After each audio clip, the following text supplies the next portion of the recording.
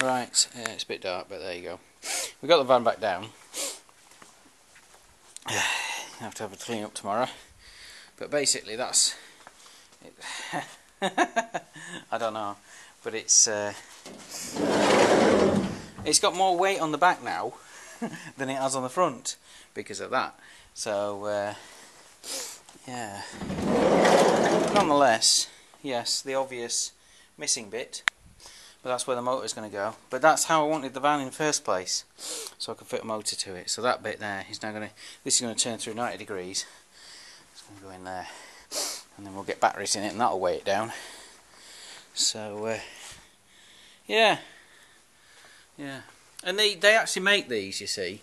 They actually make these electric because the design is conducive to it because of the fact that the chassis is high so you can fit stuff underneath it like batteries and stuff which is what they do. And I wouldn't be surprised if the electric version didn't work a shed load better. There's the engine. Which isn't too complicated in itself. You can see like sump. There's the intakes. That's the head on that side because it's on its side of course. You got the front uh, stuff. Gearboxes there. So all in all not too bad. Kissing the uh, the little one.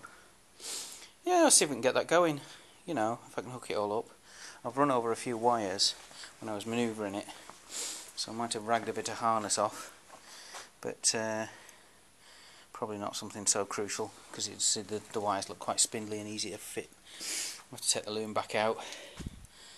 Yeah. Wow what a job. It bust up my uh, uh, trolley.